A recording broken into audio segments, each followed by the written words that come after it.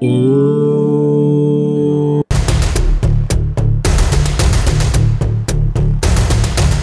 Course किन के लिए है? जो आई आई जेई एडवांस का एग्ज़ाम दे रहे हैं मेंस का एग्ज़ाम दे रहे हैं, उनके लिए है। ये कैसे ज्वाइन कर सकते हैं? आपको यूट्यूब चैनल पे जाना है, वहाँ पे ज्वाइन बटन है मेंबरशिप लेना है यूट्यूब का। आप मेंबरशिप लोगे तो मैं इस चैनल इस कोर्स को ज्वाइन कर सकते हो। इसमें आपको पूरा कोर्स करवाया जाएगा, आपका लाइव डिस्कशन होगा डीपी दी जाएगी यानी पूरे ऑर्गेनिक केमिस्ट्री की कोर्स की गारंटी अच्छे से करवानी, आपको सिखाने की मेरी होगी। तो आप ज्वाइन कर सकते हैं यूट्यूब के मेंबरशिप प्रोग्राम के थ्रू ज्वाइन बटन पे क्लिक शुरू करें फिर। ठीक है। आज है ना, आज हम पढ़ रहे हैं बेसिकली रिडक्शन ऑफ़ एल्काइन पिछली क्लास में क्या पढ़ा था हमने? हाइड्रोजनेशन ऑफ़ एल्कीन आज हम पढ़ रहे हैं हाइड्रोजनेशन ऑफ़ एल्काइन है ना? इसमें दो इंपॉर्टेंट रिएक्शन है, दो अगर आप 5 percent palladium calcium carbonate in lead acetate in quinoline है ना? अगर आप पैलेडियम को यूज़ करते हो इन कैल्शियम कार्बोनेट और लेड एसिटेट और क्यूनोलिन की प्रेजेंस में तो इस पूरे को बोलते हैं लिल्लार्ड कैटलिस्ट वो कई बार हम शॉर्ट में लिख देंगे पीडी कैल्शियम कार्बोनेट वो अंडरस्टूड है कि लेड एसिटेट रहेगा क्यूनोलिन भी रहेगा। तो अगर आप ये रिएजेंट ऐड करते हो एंड साथ में क्या यूज़ करोगे आप? H two H two plus five percent of palladium calcium carbonate lead acetate and quinoline तो, तो इससे क्या बनेगा हमारा? सिस एल्कीन इसको बोलते हैं लिनलार्ड कैटलिस्ट और प्रोडक्ट बनता है सिस एल्कीन इसको बोलते हैं one of the best method for preparation of cis alkene cis alkene बनाने का ये बेस्ट मेथड अपने सिलेबस में. ठीक है? और अगर आपने यूज़ किया ना सोडियम और lithium liquid ammonia liquid ammonia या फिर लोअर मॉलिकुलर वेट अल्कोहल भी यूज़ करते हैं। Basically sodium and liquid ammonia अगर आप यूज़ करते हो तो इससे क्या बनता है? ट्रांस एल्किन और इस रिएक्शन को क्या बोलते हैं? बर्ड्स रिडक्शन तो बर्ड्स क्या बनाता है? ट्रांस लिनलार्ड क्या बनाता है? सिस और लिलार्ड सिर्फ़ सिस ही नहीं बनाता है. सिस को बनाने का बेस्ट मेथड है. इस रिएक्शन में दो खास बात है। एक तो सिस अच्छे अमाउंट में बन रहा है। दूसरी एक और खास बात यह है कि फर्दर रिडक्शन इसके स्टॉप हो गए होना क्या चाहिए था? कि अगर मान लो एल्काइन से एल्किन बनेगा और एल्किन से आगे क्या बनना चाहिए था? एल्केन है ना? लेकिन रिएक्शन यहाँ स्टॉप हो जाती है in presence of Lindlar catalyst वो अपन समझेंगे, ठीक है? अच्छा बताओ what is the relation between this cis and trans ये जो बन रहे हैं, ये दोनों क्या है? हमारे जोमेट्रिकल आइसोमर भी हैं और डायस्टोरिमर भी है। तो पहले तो आप ये नोट करके लिख लो they are geometrical isomer diastereomers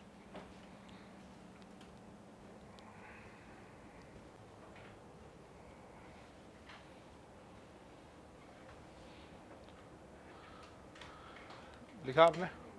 They are geometrical isomer and diastereomers अच्छा पैलेडियम कैल्शियम कार्बोनेट का मतलब क्या? Palladium deposit on the calcium carbon poison with lead और सल्फ़र मैंने यहाँ लेड लिखा है सल्फ़र भी यूज़ होता है।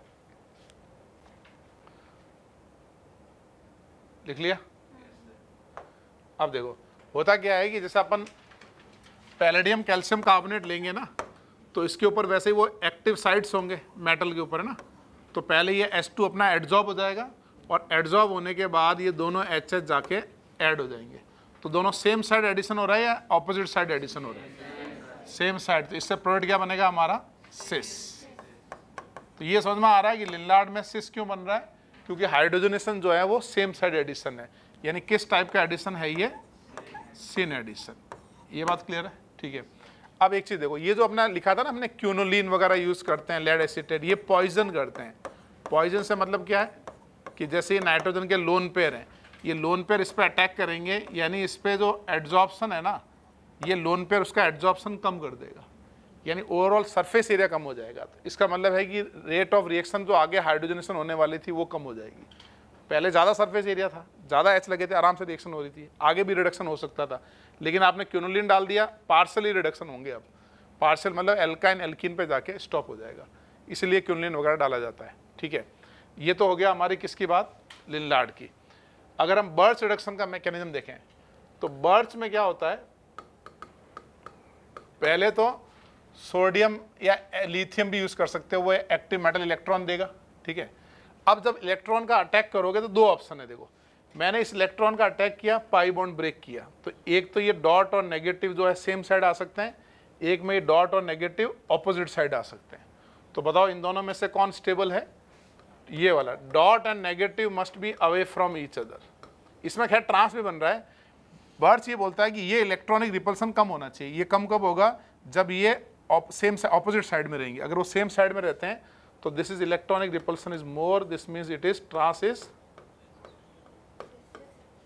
sorry cis is unstable मतलब बर्ड्स का पूरे का कॉन्सेप्ट एक ही है कि ये डॉट और नेगेटिव जो है, ये एक दूसरे से कैसे होने चाहिए, हमारे दूर होने चाहिए।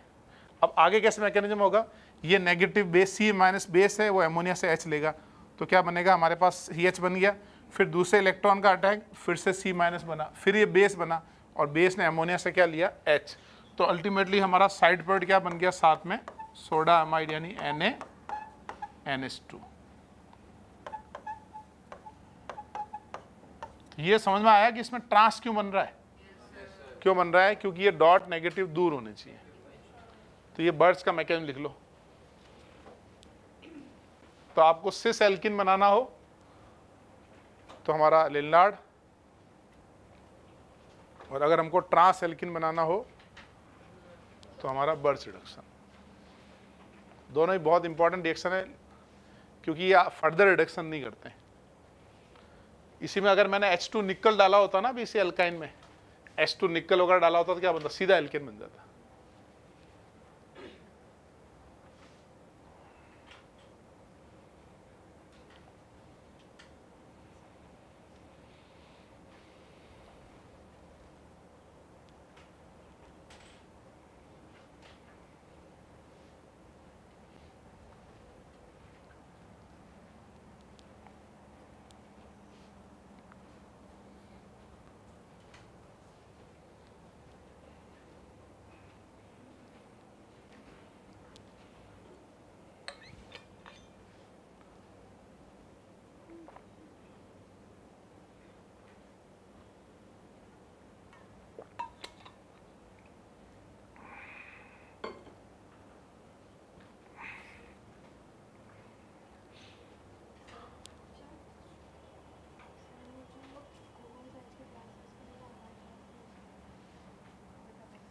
बाद में बात करते हैं पहले तुम्हारी जो क्लास होती थी ना सुबह? तो वही तो वो बोल रहे थे बच्चे दो तीन के साथ दो बार आना पड़ता है। इसलिए दो बार आना पड़ेगा, तुम बीच में ब्रेक हो जाएगा मतलब इसलिए रखिए ताकि तुम दो बार नहीं आना पड़े।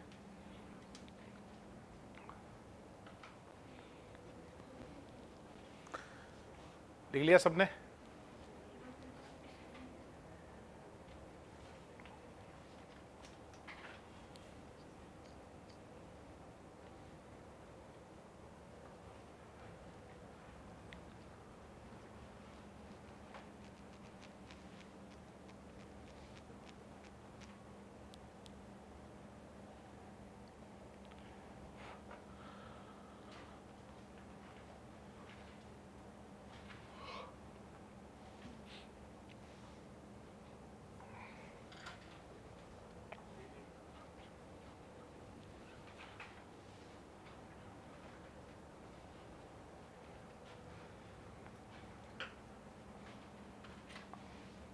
आगे बढ़े।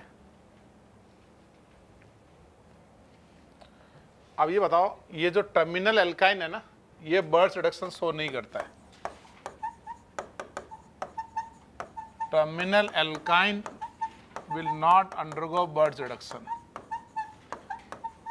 ये समझ में आ रहा है ऐसा क्यों?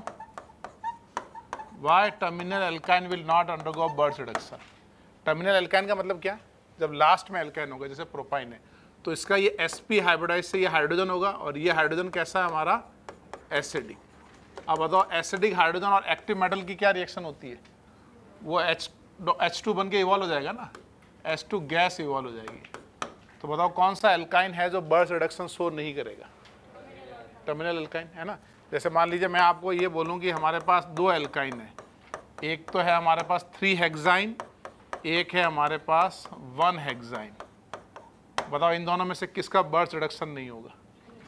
नीचे वाले का नहीं होगा। बर्थ रिडक्शन नहीं होने का मतलब ट्रांस एल्किन नहीं बना एल्काइन से एल्किन नहीं बना।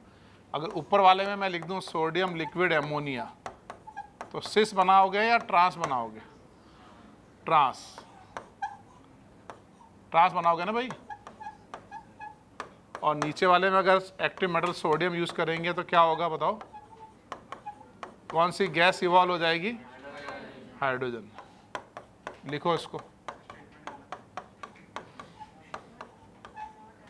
Will not undergo Birch reduction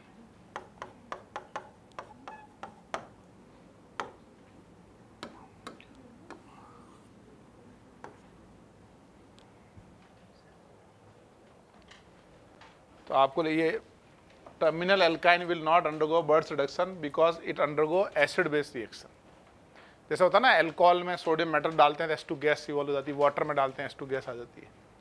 acidic hydrogen होगा और एक्टिव मेटल सोडियम होगा तो एस टू गैस आएगी।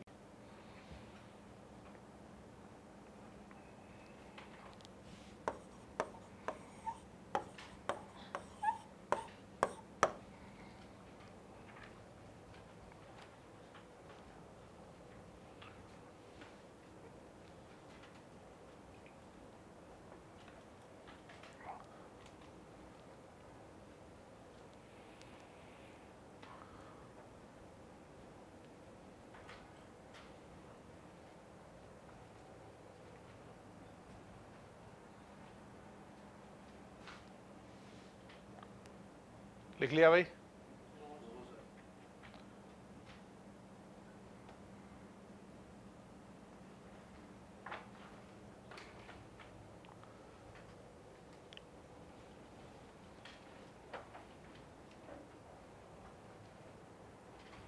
और कोई एल्काइन बता सकते हो जो कि बर्ड्स रिडक्शन शो नहीं करेगा? और कोई एल्काइन जो बर्ड्स रिडक्शन शो नहीं करेगा?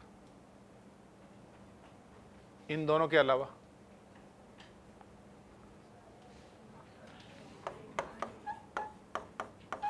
वन पेंटाइन हो सकता है ना भाई?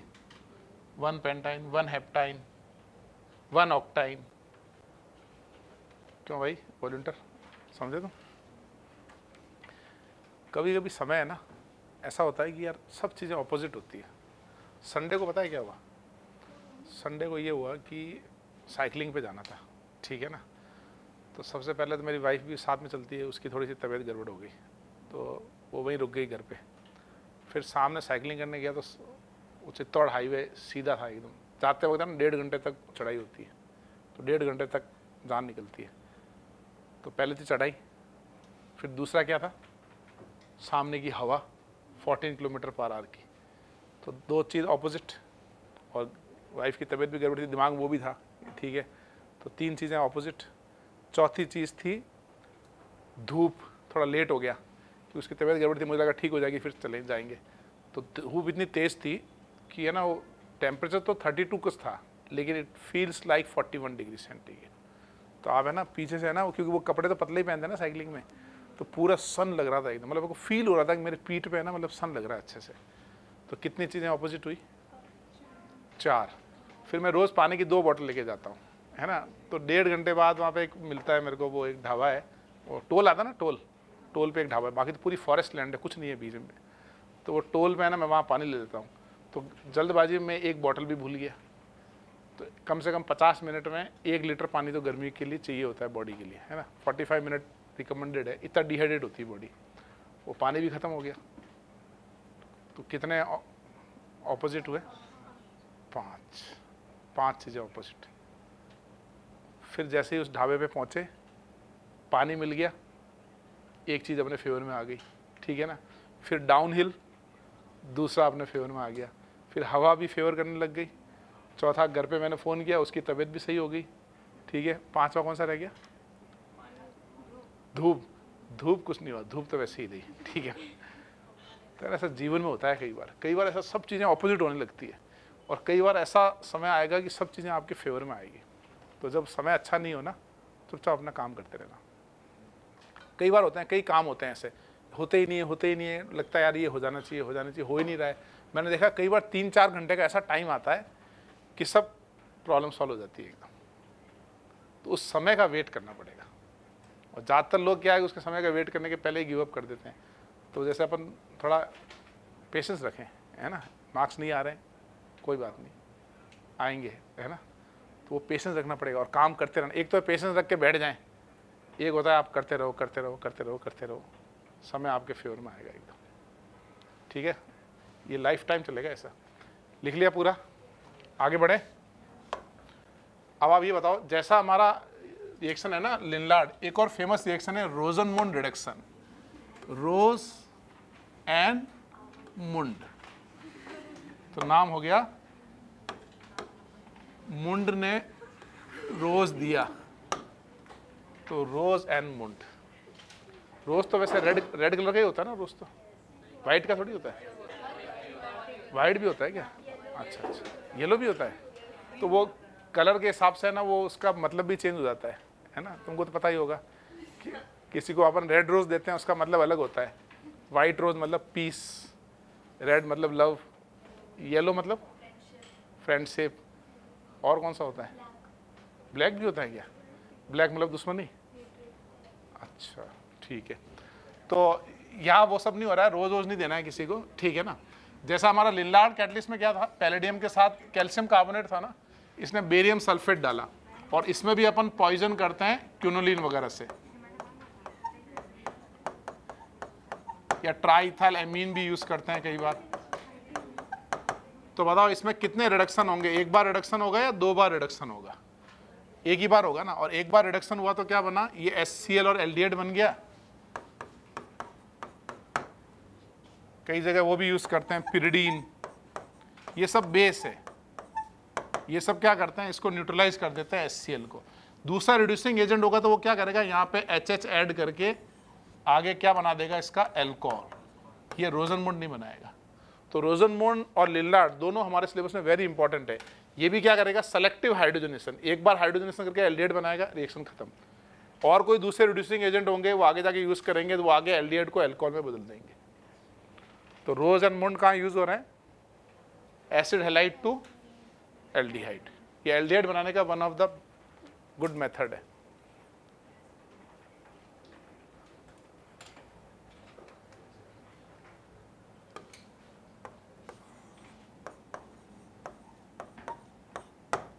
ये दोनों आप याद रखो सेलेक्टिव हाइड्रोजनेशन यानी Rosenmund is used for preparation of aldehyde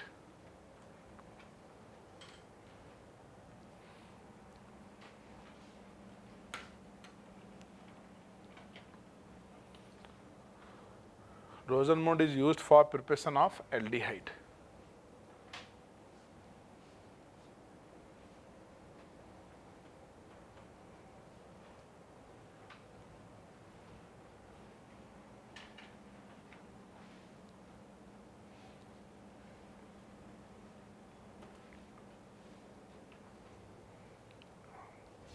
लिख लिया सबने?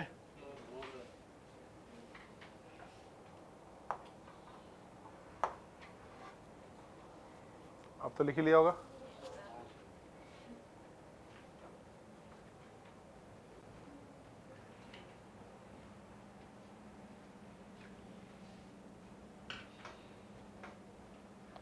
अभी वो मुकेश अंबानी के, उनके बेटे की शादी हुई थी यार।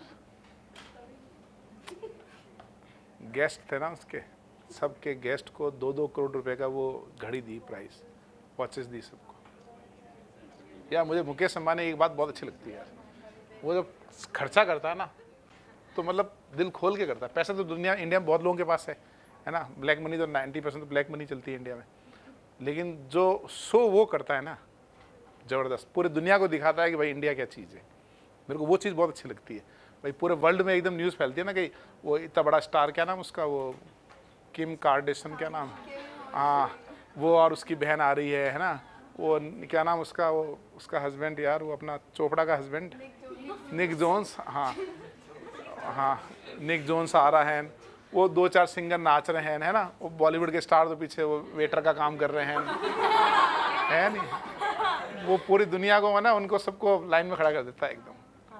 खर्चा उसने क्या पाँच हज़ार करोड़ खर्च किए, है ना? तो अब आदमी यार, देखो, ज़िंदगी में तो जीने ही आया है ना।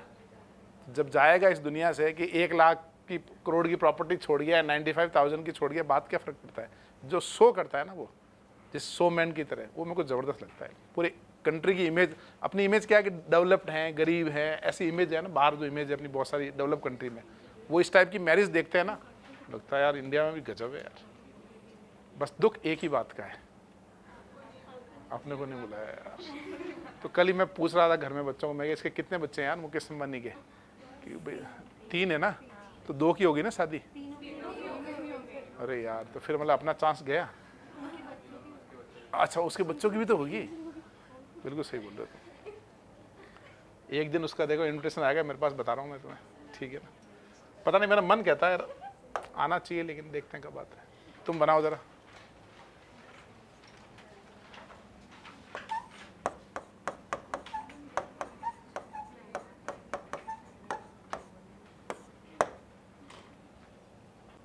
मैं तो यहाँ वाले सबको ले चलूँगा, साथ में तो मतलब है ना फ़ोटो खिंचवाने में ध्यान रखेंगे कि भाई ऐश्वर्या मिल गई उसके साथ फ़ोटो समझ रहा वो मिल गई उसके साथ फ़ोटो फिर रोज़ सोशल मीडिया में डालेंगे, मैं ऐश्वर्या राय के साथ, ऐसे, ठीक है ना? मैं कैटरीना कैफ के साथ, अभिषेक बच्चन वगैरह भी दिखेंगे बैकग्राउंड में।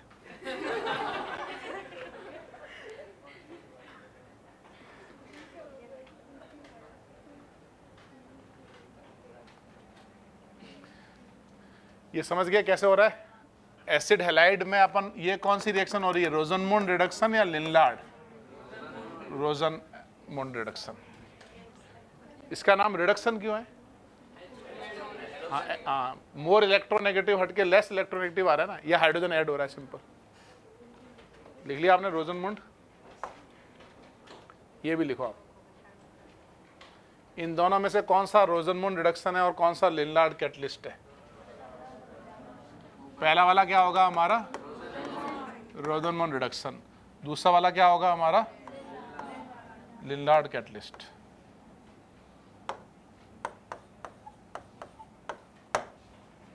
तो लिनलार्ड कैटलिस्ट क्या करेगा? लिनलार्ड क्या बनाता है? सिस बनाता है कि ट्रांस बनाता है? सिस बनाता है।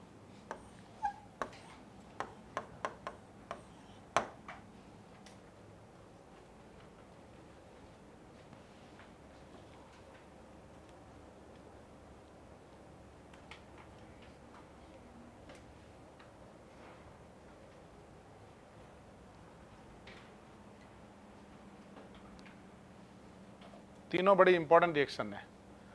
लिनलार्ड बर्च और तीसरा क्या है अपना? रोजनमुंड रिडक्शन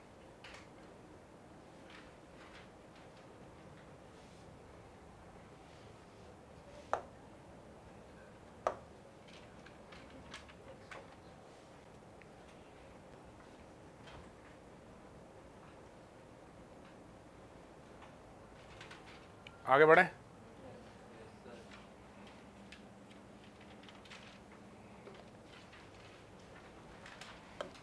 एक पिछली क्लास में ये रह गया था सेलेक्टिव हाइड्रोजनेशन भाई, आपको याद है कि हाइड्रोजनेशन जब अपन करते हैं तो H2 two is not a electrophile and not a nucleophile तो बताओ रेट ऑफ़ हाइड्रोजनेशन किसकी ज़्यादा होगी?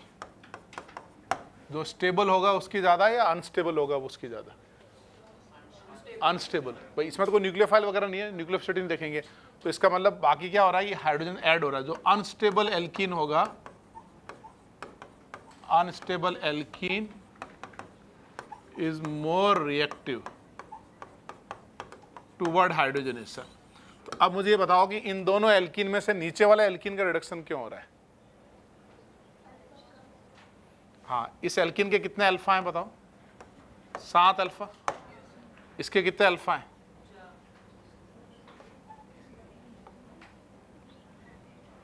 इसके क्यों गिनेंगे? इसके गिनेंगे ना यार?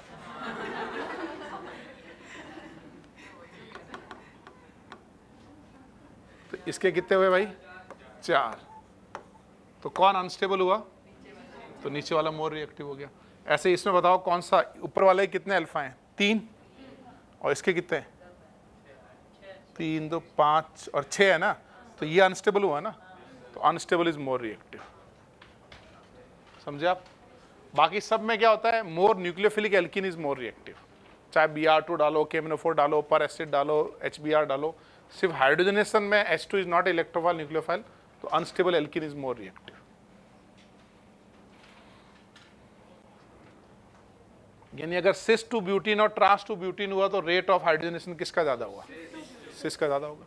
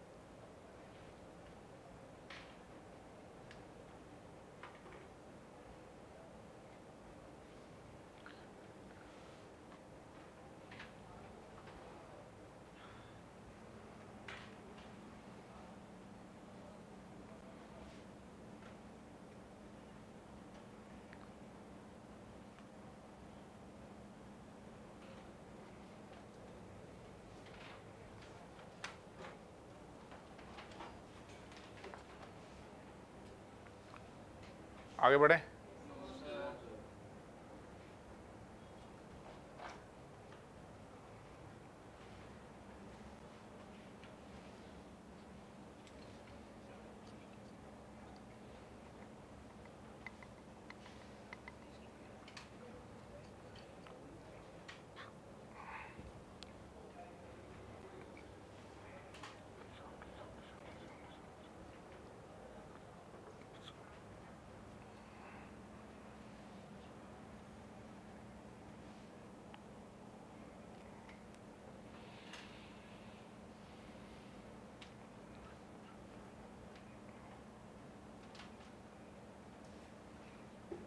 अब तो लिख लिया होगा। इसमें दो कैसे बन रहे हैं, समझ में आ रहा है? दो कैसे बन रहे हैं? कोई कार्य सेंटर बन रहा है ना वो? ये वाला कार्बन हमारा कार्य सेंटर बन रहा है। ये एच है मिथाइल है, ये सी एच टू है सी एच है चारों वैलेंसी अलग है ना? वही H H above the plane below the plane ठीक है? अब देखो, एक चीज़ और एग्ज़ाम्पल में ये बताओ थर्मोडायनेमिक स्टेबिलिटी का ऑर्डर क्या होता है?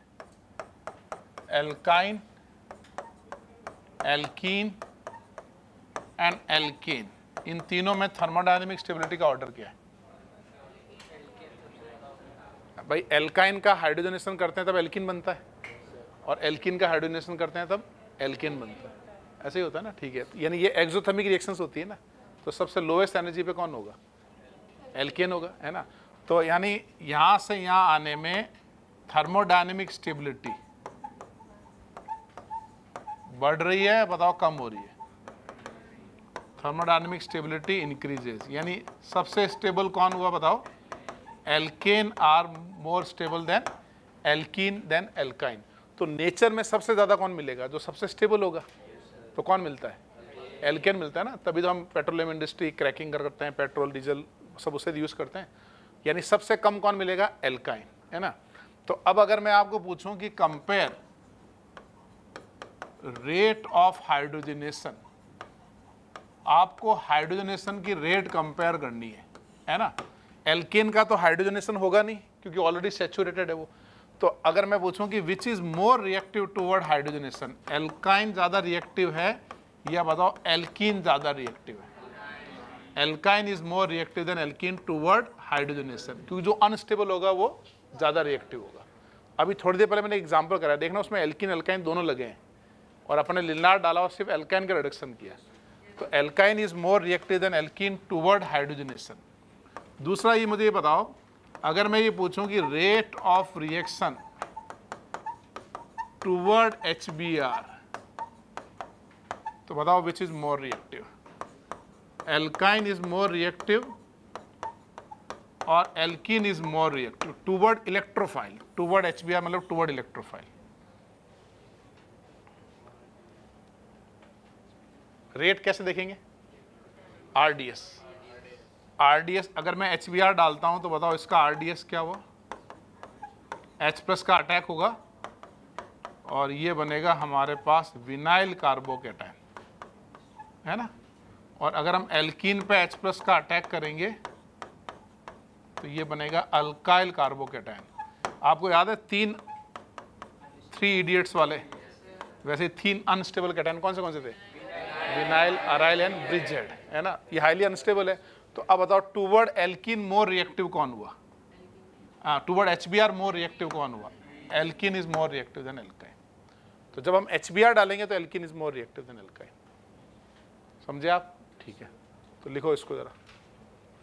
दो और तीसरा एक आपको पॉइंट ध्यान रखना है। अगर एल्काइन और एल्किन कॉन्जुगेशन में हो ना, और अगर इसमें एचबीआर डाल दें अच्छा बताओ कॉन्जुगेशन में तो इसका रेजोनेंस किस तरफ़ होगा? इसमें इसकी हाइब्रिडाइजेशन क्या है? एसपी इसकी क्या है? Sp2 तो रेजोनेंस ऐसे होगा ना? तो इस रिंग में कौन सा चार्ज आएगा बताओ? इस कार्बन पे कौन सा चार्ज आएगा? नेगेटिव यहाँ पे कौन सा आएगा? पॉजिटिव तो अब इलेक्ट्रोफाइल कहाँ अटैक करेगा? नेगेटिव पे अटैक करेगा ना? क्योंकि ये तो इलेक्ट्रोफिलिक एटम बन गया। एल्किन तो डीएक्टिवेट हो गया इलेक्ट्रॉन डेंसिटी कम हो गई। तो अगर कॉन्जुगेशन में चले गए then alkyne is more reactive than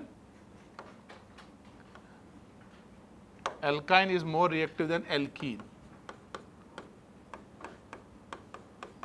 तुम ये थर्ड वाला केस समझ रहे हो?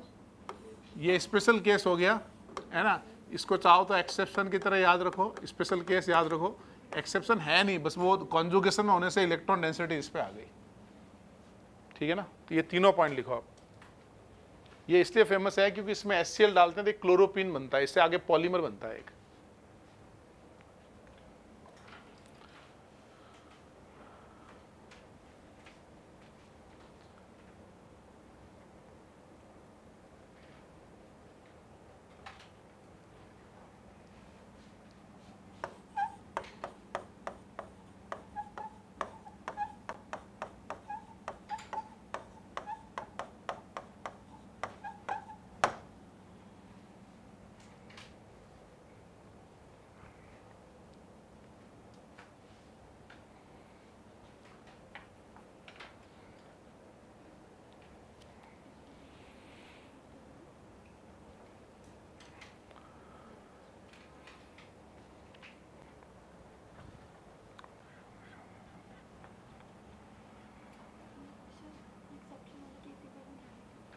हाँ देखो, मैंने ये बताया तुम्हें कि ये एल्काइन और एल्कीन है रेजोनेंस किस तरह होता है? टूवर्ड मोर इलेक्ट्रोनेगेटिव एलिमेंट तो इसमें ये एस पी हाइब्रिडाइज है ना, और ये एस पी टू है। तो हम resonance double bond conjugation double bond है। हम राइट में कर सकते हैं लेफ़्ट में कर सकते हैं। हम रेजोनेंस इस तरफ़ करेंगे। हाँ इससे रेजोनेंस करने से इस फ़र्स्ट वाले कार्बन पे कौन सा चार्ज आएगा? नेगेटिव आएगा, है ना? अब अगर मैं एच प्लस का अटैक करने को बोलूँ तो कहाँ अटैक होगा? यहाँ होगा। क्योंकि वो कॉन्जुगेशन में होने से क्या हुआ कि इस पर तो इलेक्ट्रॉन डेंसिटी बढ़ गई, इस पर कम हो गई।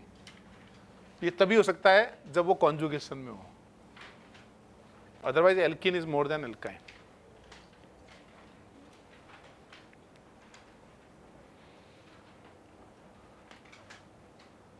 समझे भाई?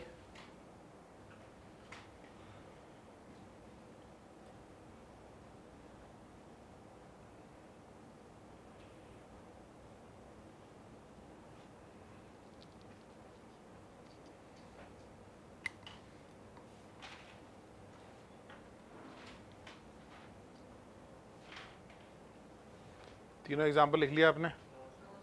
इंग्लिश की क्लास का टाइम हो रहा है। ये वाले दोनों एग्ज़ाम्पल लिख के जाओगे, या बिना लिखे जाओगे? लिख के जाएँगे। तो लिख लो फिर। हैं? पीछे वाला नहीं लिखा? ये वाला? हाँ पहले ये लिख लो बेटा।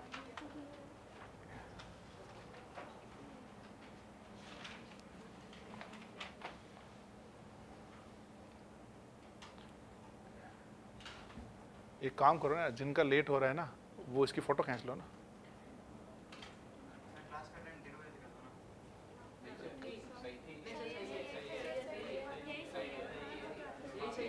अरे, मैं तो सोचा वो क्या वो पारिता जी पहले लिख देते तो फास्ट हो जाएगा, लेकिन काम तो सरकारी तरी हो रहा है। तुम पहली बार लिख रहे हो ना? ये ठीक है, थोड़ी थोड़ा सा मतलब हमारे लिखने में थोड़ा सा लेट हो गया। हम लिखने के अगली बार तैयार रहेंगे हम एकदम। वो तो ज़्यादा ना, शादी में खाना लगा रहता है वैसे एकदम। लिख लिया? ठीक है। ये तो बेंजीन में थ्री मोल डी टू और मेटल हाई टेम्परेचर प्रेशर करेंगे तो क्या होगा? बेंजीन में आपने वो आपने डिस्कस किया था ना बेंजीन का रिडक्शन पूरा हो जाता है। सब जगह डी लग जाएगा। अब नीचे वाले में समझ में आ रहा है? कि एल्कीन है और एल्काइन है। तो किसका हाइड्रोजनेशन पहले होगा बताओ? एल्काइन का। Alkyne is more reactive than alkene toward hydrogenation इसका पाई बॉन्ड भी आएगा यहाँ पर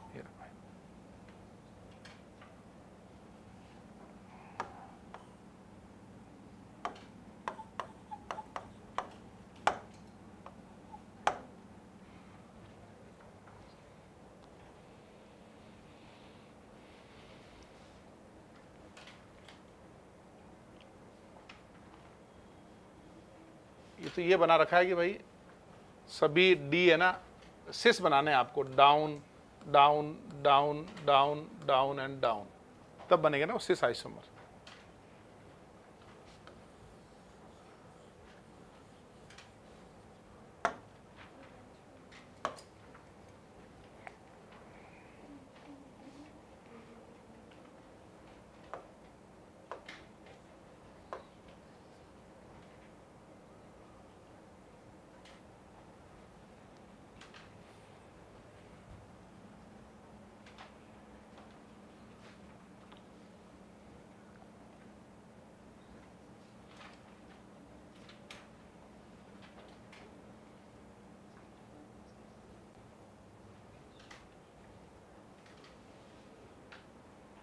आज कितने बजे जाओगे घर?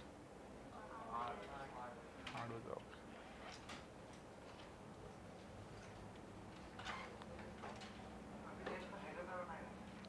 टेस्ट कब है? अट्ठाईस जुलाई। और आज क्या तारीख है? तो यार उसमें एल्केन तो डाल देते हैं यार। कम से कम एल्केन तो हो जाएगा एक बार। हाँ अपडेट करके भेजता हूँ। एल्केन डाल देते हैं उस।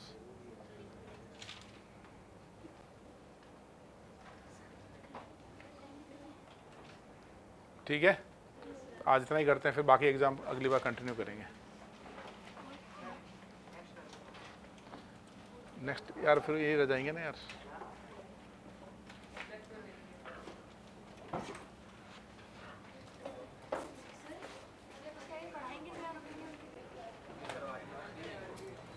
चार पाँच एग्ज़ाम्पल बचे हैं बस। तुम क्लास में जाओ। ठीक है।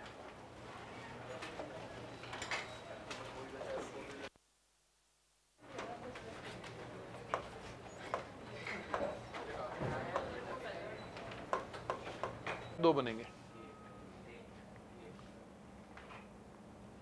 वैसे ये कार्य सेंटर है cis and trans are different group ये कार्य सेंटर है। तो प्रोडक्ट एक होगा कि दो होगा। प्रोडक्ट एक ही होगा। एक कैसे होगा? हाँ आप आप इस, देखो, जब मैंने तुमको एक एल्काइन दिया, ये एल्काइन दिया, अब मैंने बोला इसका सिस एल्किन बनाओ, कितने बनाओगे? एक ही तो बनाओगे? अब तुमने अगर H H above the plane लगाया, या H H below the plane लगाया, वो तो सेम ही चीज़ है। समझ गए आप? ये कोई कार सेंटर थोड़ी बन रहा है, यहाँ कोई डीएच थोड़ी बन रहे हैं जोमेट्रिकल भी नहीं बन रहे, सिर्फ़ एक ओरिएंटेशन है सिस तो बस फ़र्क क्या पड़ा कि अगर ये ट्रांस है और सिस है तो हमारा जो एक प्रोडक्ट बना, वो कैसा प्रोडक्ट बना, बताओ? कायरल और पीछे वाला एग्ज़ाम्पल में जो हमारा एक प्रोडक्ट बना, क्योंकि ये भी शिष्य है, ये भी शिष्य है, जो एक प्रोडक्ट बना, वो कैसा बना हमारा बताओ? वो बना अकायरल ये समझ में आ रहा है? मैं ये समझाना चाह रहा हूँ कि किसी भी एल्काइन का हाइड्रोजनेशन करोगे सिन एडिशन करोगे तो एक ही प्रोडक्ट बनेगा बस। इसको लिख लो।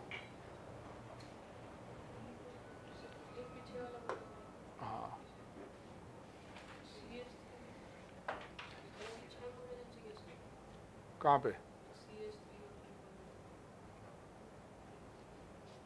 छः वैलेंसी?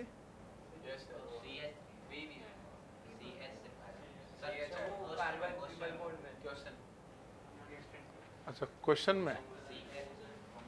अच्छा कार्बन कम हो गया यहाँ पे हाँ।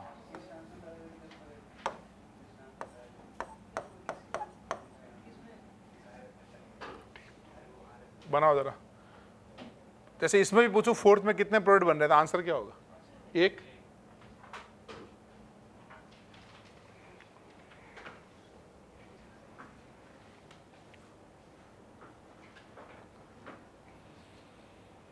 लिख लिया? सिस ट्रांस में किसको प्रायोरिटी देंगे? Cis is given priority over trans R is given priority over S E is given priority over Z on the basis of alphabetic sequence जब आर एस कॉन्फ़िगरेशन निकालने होंगे ना किसी कार्य सेंटर के तो हो सकता है, ऐसा भी हो सकता है एक आर लगाओ, एक एस लगाओ, एक ई e लगाओ, एक जेड लगाओ। अल्फ़ाबेटिक के अकॉर्डिंग प्रेफरेंस दो उनका।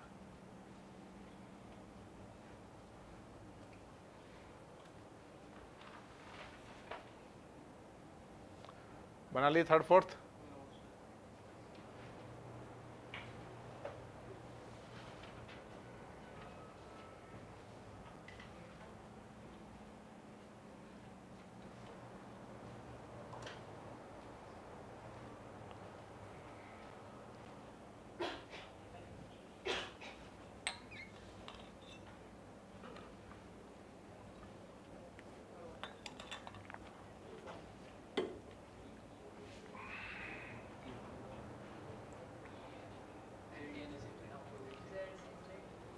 गया फिफ्थ सिक्स लिखो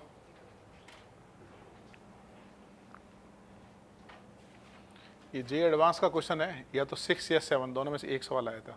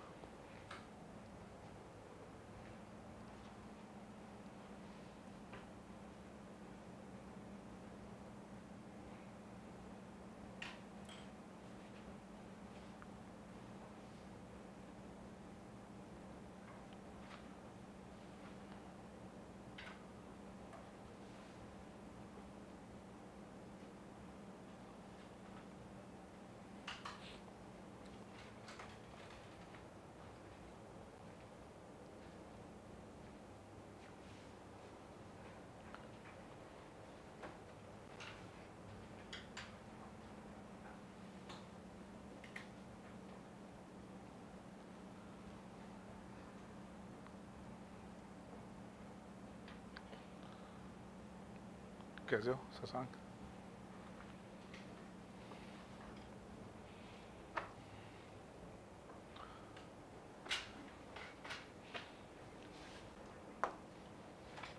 सेवन एट लिखो। इसमें हाँ। ये एल्किन तो ऐसे लिख दिया एल्किन में तो कोई चेंज नहीं होगा ना इसमें।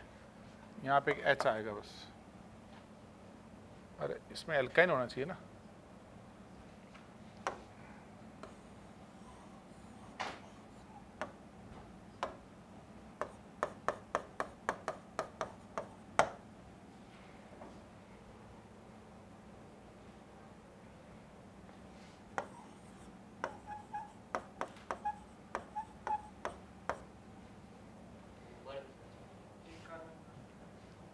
कार्बन ज़्यादा हो रहा है?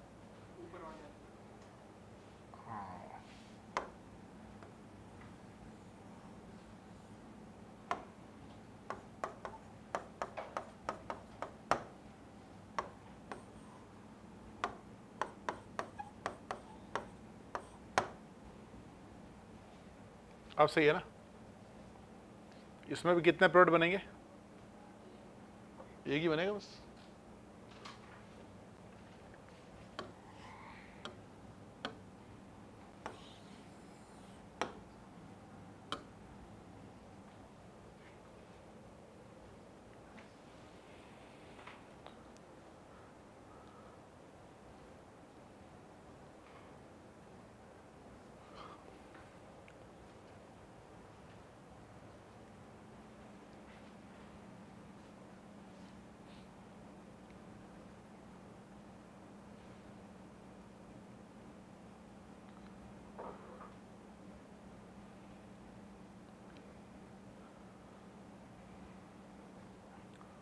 लिए दोनों?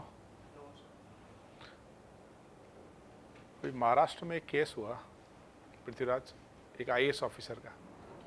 बहुत लाइमलाइट में केस चला देखा तुमने? एक आईएएस ऑफिसर है, क्या नाम उसका? पूजा खेड़कर ऐसा कुछ है। तो उसने क्या किया? एक तो उसका जो, वो हाँ लाइमलाइट में कैसे आई कि उसका जो बॉस था ना ट्रेनिंग चल रही हो ना, पहले इनको डिप्टी कलेक्टर लगा था, वो कहीं बाहर गया हुआ था। तो उसने उसका ऑफ़िस खाली कराया, खुद बैठ गई वहाँ जाके। ठीक है ना? फिर उसने वहाँ जाके भाई भाई मैं आईएएस ऑफिसर हूँ प्रोटोकॉल गवर्नमेंट का थोड़ा चेंज किया, बोला कि ये होना चाहिए लाइट होनी चाहिए, वो होनी चाहिए मतलब ताम जाम डेकोरेटिव होना चाहिए। ठीक है, कोई बात नहीं, वहाँ तक ठीक है। फिर उसके पास ऑडी कार थी तो उसने जो उसके पीछे लिखा दिया आईएएस या कलेक्टर दिखा दिया, और वो जो लाइट होती है ना कलेक्टर को जो मिलती है, आजकल तो शायद मोदी जी ने बैन कर दिया चार पाँच साल पहले। मंत्रियों को बैन किया ना? कलेक्टर को भी बैन है शायद? उन पे अच्छा मंत्रियों पे बैन किया हाँ। तो वो, उसको, अपनी प्राइवेट गाड़ी को गवर्नमेंट की गाड़ी और ऐसा वो दिखाया उसने।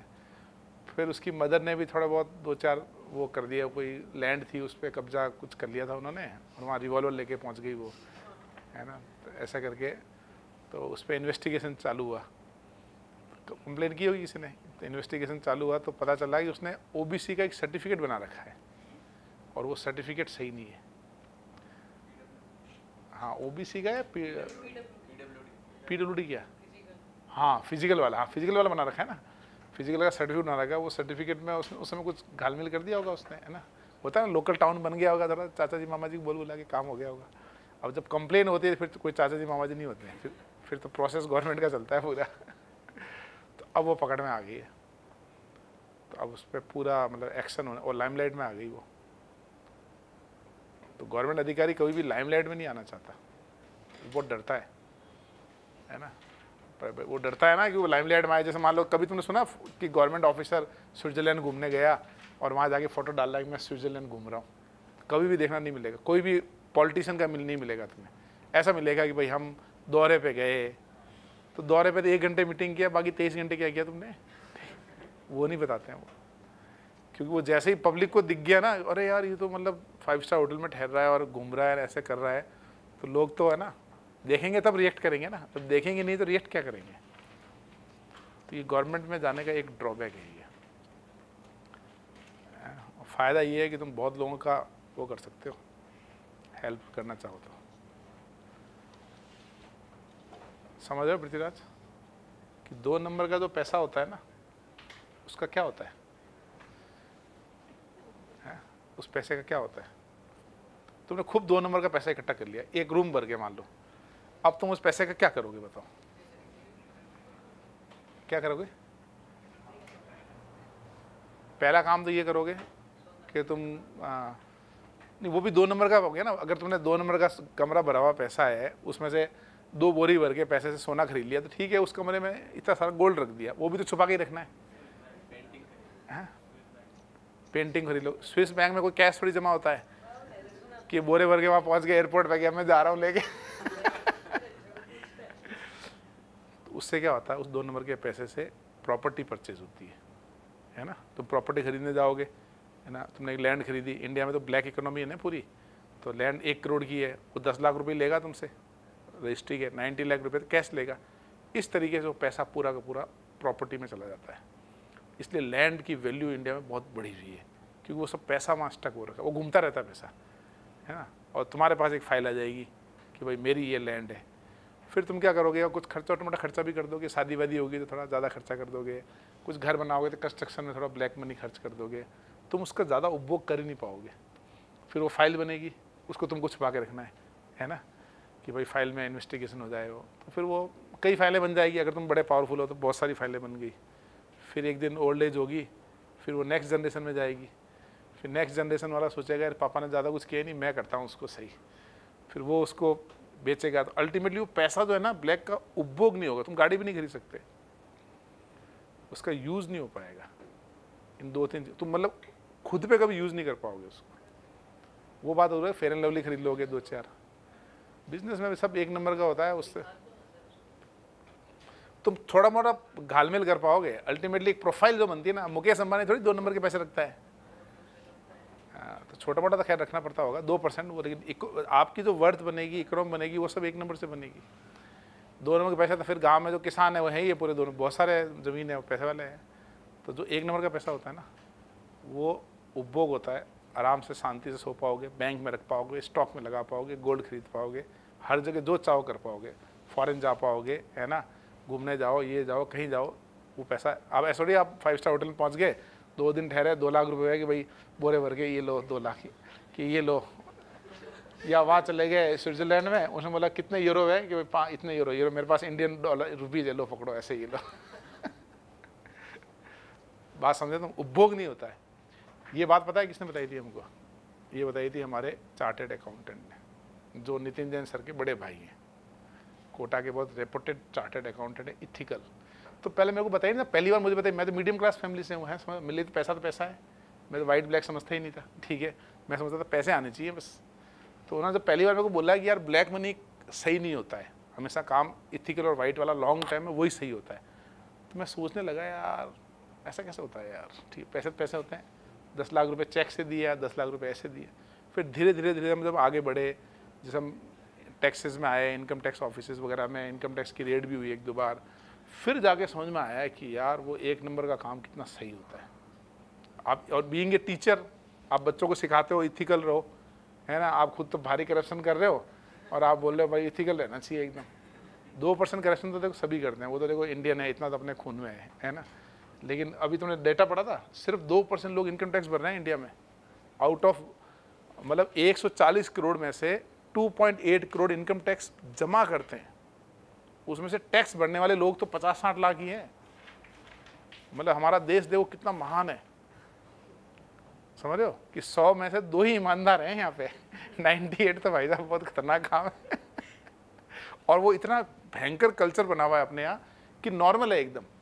ये होता है ना भाई, एक तो होता है कि भाई पूरे मोहल्ले में यार ये आदमी गड़बड़ है। पता चले कि ढूंढना पड़ता है। कि यार ईमानदार है किधर? तो मेरे को अभी एक बच्चे ने सवाल पूछा। अपना पुराना बच्चा है ना, थोड़ा मेरी बात होती है उससे। वो आई होने वाला है ना? तो उसने ऐसी बातचीत हुई तो उसने बोला कि मैं आई हो जाऊँगा। तो मैं आई हो जाएगा तो अच्छी अच्छी बात है, बहुत बढ़िया बात है। तो उसने बोला कि अगर कोई ईमानदार आईएएस ऑफिसर होता है तो उसका क्या होता है? भाई सिस्टम में तो बहुत ज़्यादा करप्शन है है ना? तो मैंने कहा करप्शन दो टाइप के होते हैं, ठीक है? एक करप्शन वो होता है कि मान लीजिए मैं पुलिस सुपरिटेंडेंट हूँ और मैं पूरी दादागिरी दिखाऊँ, सारे एस एच ओ को बोलूँ, रोज़ पाँच पाँच लाख महीने के लेके आना मेरे पास। तो एस एच ओ और जो ब्लैकमेल, जो दो नंबर का काम करें उनको पकड़ेंगे, है ना, इंस्पेक्टर? अल्टीमेटली मैं एक्सटॉर्ट करूँगा पैसा, है ना? तो मेरे को महीने के पचास लाख रुपये चाहिए। तो सारे ऑफिसर लग जाएँगे, है ना, भाई एसपी साहब को पचास लाख देने हैं। एक ये करप्शन। सेकेंड करप्शन क्या होता है? सिस्टम बना हुआ है कि भाई हर पुलिस स्टेशन में कुछ पैसा जाता है एक एक लाख रुपए जाता तो सिस्टम बना हुआ है तो दस लाख रुपए मेरे फिक्स आएँगे, चाहे आप हो या नहीं हो तो मेरे को दस लाख रुपए ला दिए जाने हैं। तो वो दो टाइप के करप्शन है। तो अगर आप इस दोनों में फिट होते हो तो ठीक ठीक है। तो फिर तीसरा ये है कि आपको बाईपास कर दिया जाएगा कि भाई ये सांप तो लेते नहीं है तो सांप को छोड़ दो तो वो आपके से बाईपास होगा। तो तीन चांस है। अब तीनों में तुम देख लो। उसको ये डर था कि यार मैं ईमानदार रहूँगा तो कुछ गड़बड़ ना हो जाए। मैं कुछ गड़बड़ नहीं होगी। ईमानदार रहेंगे तो तुमको डिपार्टमेंट में लोग भूल जाएँगे। सबको पता होगा कि इसके साथ कुछ नहीं करना है। ये आदमी ईमानदार है। उससे दूर रहते हैं ईमानदार से सब। करप्शन तो चीनी की तरह होती है सब घुल मिल जाते हैं, सब दोस्ती, यारी दोस्ती होती है। तो तुम्हारे जैसे हाई प्रोफ़ाइल मेहनती बच्चों को करप्शन नहीं करना चाहिए। मीडियम मीडियम आदमी कह रहे हो, ठीक है। फिर तुम भी उनके जैसे हो गए तो तुम में उनमें क्या फ़र्क? है वैसे ही बहुत पैसे कमा लेना। पैसा ज़रूर कमाना है, लेकिन तरीके से कमाना है। दो नंबर का पैसा ना दिक्कत करेगा बाद में। बात समझ में आई? पैसा कितना कमाना है? बहुत ज़्यादा। और बैंक में वो, बैंक में, स्टॉक में, गोल्ड में सब वो। नेटवर्थ होनी चाहिए। समझे? ठीक है। चलो फिर, इतना ही करते हैं। तो अब एक क्लास और करेंगे एल्किन की। हाँ वो सारी रिएक्शन को कंपाइल करते हुए प्रैक्टिस करनी है। तो अगली बार वो करेंगे प्रैक्टिस